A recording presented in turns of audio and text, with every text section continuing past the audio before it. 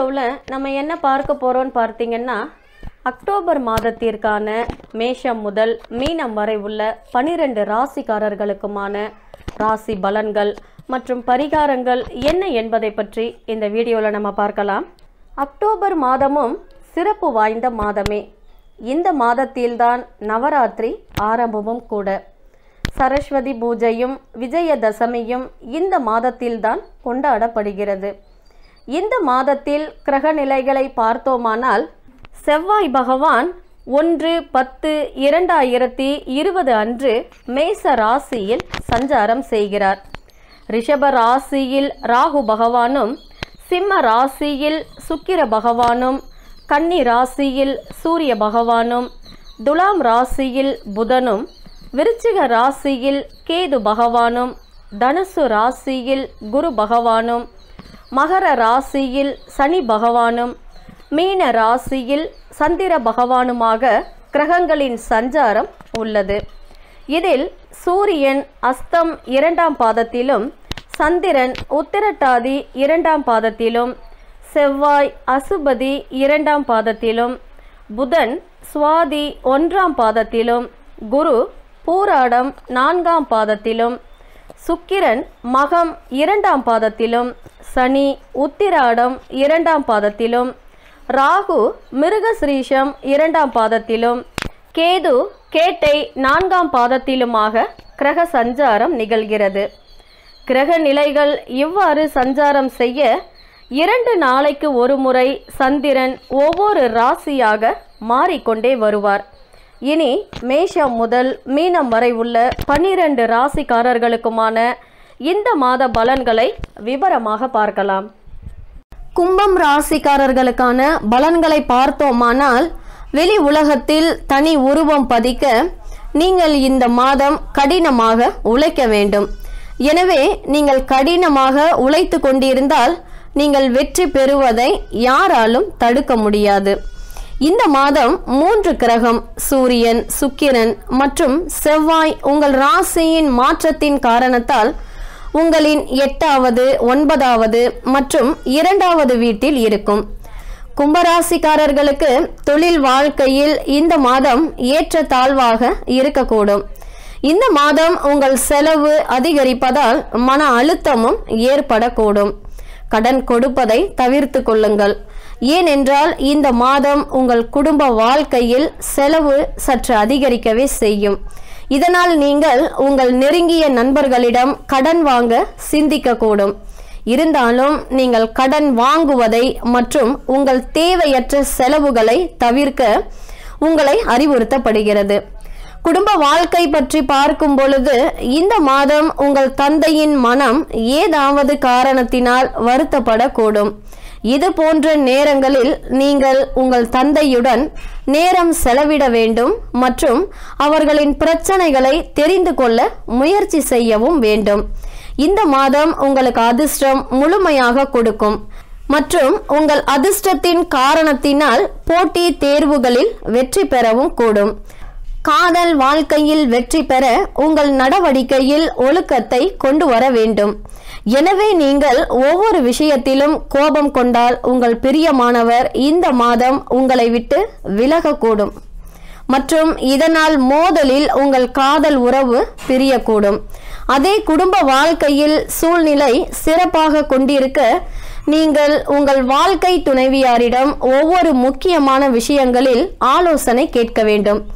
இந்த ராசிக்காரரின் உடல் ஆரோக்கியத்தை பற்றி பார்த்தோமானால் ஏதாவது நீண்ட காலமாக நோயில் பாதிக்கப்பட்டிருந்தால் அவர்கள் மருத்துவரிடம் பரிசோதனை செய்து கொள்ள வேண்டும். இந்த மாதம் உங்கள் ராசிநாதன் சனி பகவான் உங்கள் ராசிக்கு பனிரெண்டாம் இடத்தில் சஞ்சரிப்பதால் தேவையற்ற வீண் விரயங்கள் ஏற்படவும் வாய்ப்புகள் உள்ளது. மருத்துவ செலவுகளும் ஏற்படலாம். மற்றவர்களுக்கு பணம் தொடர்பான வாக்குறுதி அளிப்பது பிறருக்காக ஜாமீன் கையெழுத்திடுவது போன்ற செயல்களில் ஈடுபட வேண்டாம். இருந்தாலும் மனதில் தைரியம் உற்சாகம் அதிகரிக்கும். குடும்பத்தை நன்கு நடத்துவதற்கு தேவையான வருமானம் வந்து சேரும். சிலருக்கு நீண்ட நாட்களாக முயற்சித்து கொண்டிருக்கும் வங்கி கடனும் கிடைக்கும். இல்லறம் இனிக்கும். குடும்பத்தில் மகிழ்ச்சி நிலவும். குழந்தைகளாலும் சந்தோஷம் உண்டாகும். சகோதர சகோதரிகளாலும் இந்த மாதம் உங்களுக்கு ஆதாயம் உண்டு. இருந்தாலும் தாயாரின் உடல் நலனில் கவனம் தேவைப்படும். தாயுடன் கருத்து வேறுபாடுகளும் வந்து நீங்கலாம். தந்தையுடனும் சிறு சிறு மனஸ்தாபங்கள் வந்து போகும். தொழிலில் சிறு பிரச்சனைகள் தடைகள் போன்றவற்றை சந்தித்தாலும் அதில் நல்ல முன்னேற்றம் உண்டு. இந்த மாதம் உங்கள் காதல் இனிக்கும். காதலர்களுக்குள் இணக்கம் அதிகரிக்கும். புதிய காதல் முயற்சிகளும் கைகூடும் வாய்ப்புள்ளது. இல்லற வாழ்க்கையும் இனிமையாகவே செல்லும். கணவன் மனைவிக்குள் அன்பும் ஆதரவும் பெருகும். சில தம்பதியினர் வெளியிடங்களுக்கு சுற்றுலா சென்று மகிழ்வார்கள். பொருளாதார நிலை உயரக்கூடும். சுய தொழில் மற்றும் வியாபாரத்தில் இருப்பவர்களுக்கு நல்ல லாபம் கிடைக்கும். சிலருக்கு வாழ்க்கை துணை வழியில் வருமானமும் உண்டு. நீண்ட நாட்களாக நிலுவையில் இருந்த பணமும் இப்பொழுது கைக்கு வந்து சேரும். எதிர்பாராத தனவரவும் அசையும் அசையா சொத்து சேர்க்கையும் கூட சிலருக்கு உண்டு. இந்த மாதம் பணியில் நல்ல முன்னேற்றம் உண்டு. உங்கள் கடின உழைப்பு உங்களது உயர் அதிகாரிகளின் ஆதரவை பெற்றுத்தரக்கூடும். உங்கள் வருமானமும் உயரக்கூடும். உங்கள் திறமையும் மற்றவர்களது பாராட்டு பெறும். இருப்பினும் உடன் பணிபுரிபவர்களுடன் வீண் விவாதங்களை தவிர்ப்பது நல்லது. தொழிலில் நல்ல வருமானம் உண்டு. இருந்தாலும் புதிய முதலீடுகளை தவிர்த்துவிட்டு தற்போது உள்ள நிலைமையே தொடர்வது நல்லது. இது உங்கள் சேமிப்பை அதிகரிக்கவும் உதவும்.